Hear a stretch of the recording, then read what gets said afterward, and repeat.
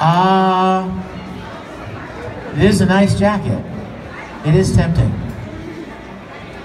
You think I should wear it? Oh, you think I should?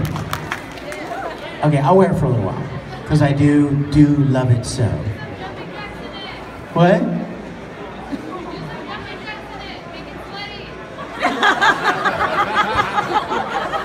Okay, I heard something about make it sweaty. That can't be good. That can't be good.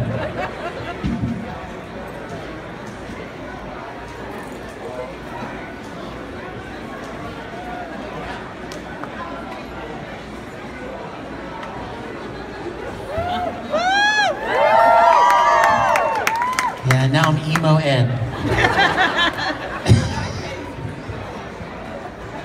Shut up, Al, I'm concentrating.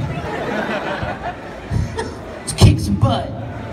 All right, who's got a question? Crow, bring it. What's your question, man? Here. How did it feel reprising a role as Junpei Iori? And how did it feel doing a fighting game versus the normal um, visual novel style? You know what? I love Junpei.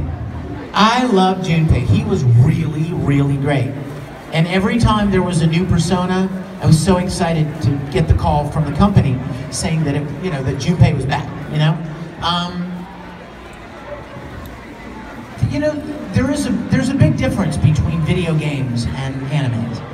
Um, when you're recording a video game, there's usually a lot more fighting.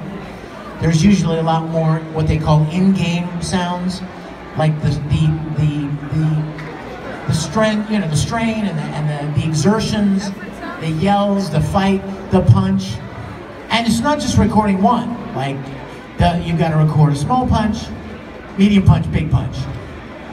Small kicked in the in the gut, medium kicked in the gut, big kicked in the gut. Falling from five feet, falling from ten feet, falling from thirty feet. You know what I mean? Um, every conceivable variation, and uh, and so there's a lot more of that in video games. Um, but I always love the actual like the cutscenes and the things that that develop the character more, you know, than just the fighting. But Junpei, I love me some Junpei. He's great. Question? Yes. When you audition and you get the sides, obviously the physical parts of the character determine what type of voice you use. How much does the background of the character, your backstory, determine what type of voice you use? Great question. Great question. Um, when you go into audition for an anime series, they'll give you a single piece of paper for each character. And what that paper will contain would be a picture of the character, his name, a brief description of the character, and then four or five lines that the character would say that are indicative of the character's personality. And when you audition, you kind of, you know, you you do your best with what you think the character would sound. Excuse me, the character would sound like. But then also the director often has an idea in his mind of what he wants the character to be like. So I may do a character like I may do a character like this, and I may do the audition like this. And then the director goes, okay, that was good, but take some of the growl out of it. So then I may do it like this, and take some of the growl out. And then he'll say, okay, maybe make it a little higher, it's a little low. And then I'll do it like this. So now the growl is gone, and the low is gone, but it's still the same essence of the character. And then, of course, there's the original Japanese. Now, sometimes a director, uh, sometimes uh, a, a Japanese company will give an English company the, sh- the show, the dub, and then they'll say, we want it to sound just like our guy. So it doesn't even matter if you do a great job. If you don't sound like their guy, then you're not going to get cast. So if it's a show like uh, Naruto or even Full Metal or uh, a big show, a big, big show, that the company, the Japanese creators, the company that created it, they care a lot about how that show is presented in English. Some shows they don't, right? Like for instance, uh, you know, if there's a show that didn't do very well, and the Japanese company just wants to make a little extra money from it, and you come along and you say, hey, can I buy the license to dub that into English? They're like, well, sure, here, have at it, right? I mean, do whatever you want. It, it didn't do well for us. It doesn't have much of a fan following. Do whatever you want. Cast whoever you want. Rewrite the script however you want. Do what you want. But when a show comes along like Full Metal or uh, One Punch or Naruto, big shows that have a big fan base, the Japanese company cares very much about what the actors sound like who play those characters. In fact, I was very lucky to get cast as Ed because I don't sound like Romi Park.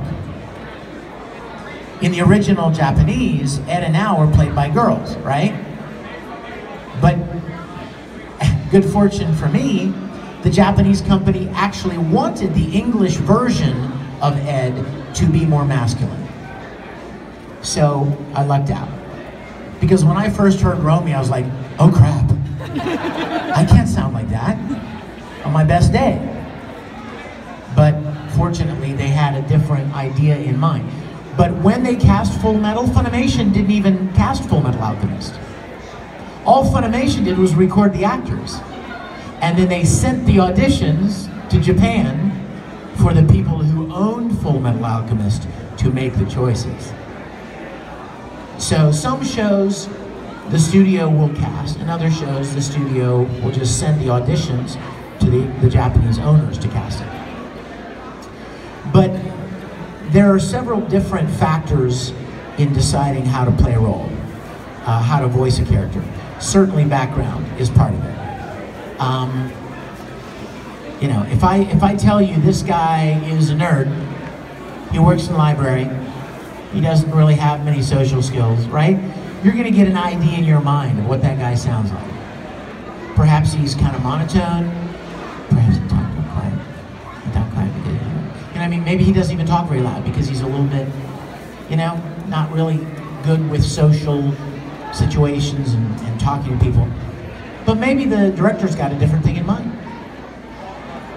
Maybe the director has decided that because he's awkward, maybe he talked a little louder. right? That kind of, uh, dude, you don't really even know how loud you're talking right now, you know? Who knows? There are always these different variables. And I'll tell you one thing that's really difficult about auditioning is that you, you don't always know what they want.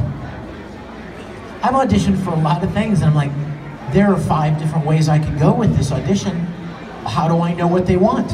And the worst part is, if you knew what they wanted, you could do it. But you just don't know what they want. You know what I mean? So it's really, it's tricky. And you know what? It's the same thing with demos. It's the same thing with making a voiceover demo. What do you put on a demo? You can't put 100 voices on a demo because no producer is going to listen to a demo for 20 minutes. You know what I mean?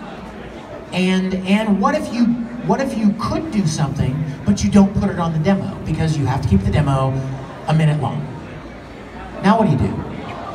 What if you could do a really good accent but you don't put it on the demo because it's that's kind of a specific a specific thing, right? You you don't put it on there and then somebody listens to your demo and they're looking for somebody with an accent that can do an accent, and just because it wasn't on your demo, they don't think you can do it. And your demo gets pushed aside. You know what I mean? It's really, it's really a gamble. You, you never know what, you know, it's, it's a real, uh, it's hard to know in these kind of situations. You do your best, you hope for the best, you know?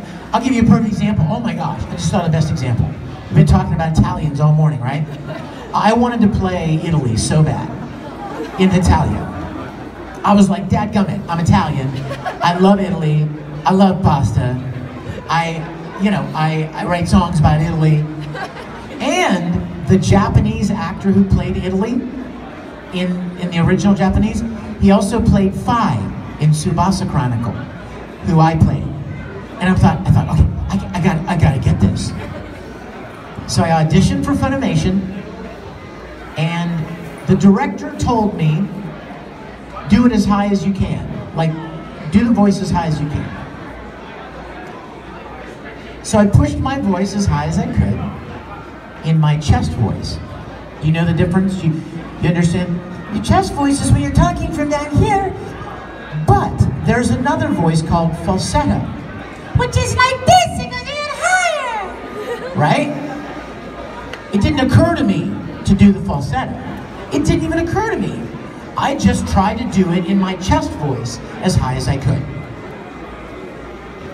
Well, my buddy Todd, when he went into audition and the director said, do it as high as you can, he went up into his chest voice. So this is like. And he got cast. Now, he does a great job. I'm not taking anything away from him, but do you see my point? My point is, you might have been able to do something had you known or had it occurred to you, but you may lose an opportunity just because you didn't think of it or you didn't include it or whatever. So you never really know how auditions are going to go and what the director's thinking, what the Japanese creators may be thinking if they're able to weigh in on it, uh, what the original actor sounds like, does that weigh in on it? I'll tell you something else about voice acting and demos. Don't ever put a voice on a demo that you're not prepared to do for 12 hours. You may be able to make your voice do some pretty creepy things, right? For one line. But if you put that on a demo and somebody goes, oh my gosh, this is the greatest, creepiest voice, we're casting this person to play this character in this anime series that has 200 episodes. You're screwed. you know what I'm saying? Because your voice will be so, you know what I'm saying? You can't, there are some things that you can do with your voice, and you guys know what I'm talking about, but you can't maintain it. It's not something you want to do for very long, right? Like a like, like maybe a Gollum voice or something, you know, something that's very scratchy. Yeah, that's really great. That's very demonic and it sounds cool. And you'll be dead in about nine minutes. You know what I mean? So you always be careful if you're ever going to make a demo or you're ever to audition for something. Be careful that you don't do something that you can't do for very long.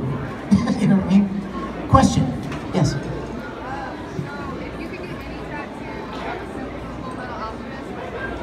If I could get any tattoo symbol from Full Metal, what would I get? Ooh. You know, I would probably have to get that one. I mean, I couldn't get the Ouroboros, like the snake eating its tail. I'm not a homunculi. I can't get the blood seal. I'm not Al. I'd have to get the flamel, right? I'm getting warm. Thank you for letting me borrow that, man. Um, I'd have to. I'd have to do it the flamel. Question? Uh, yes, sir. I want everybody to hear the question. So I've seen multiple voice actors really get into the characters. Like the one I think of the most is Mark Hamill as the Joker. You seem like distort his uh, features. Like, what do you do to help you get into character? Uh, it depends on the character.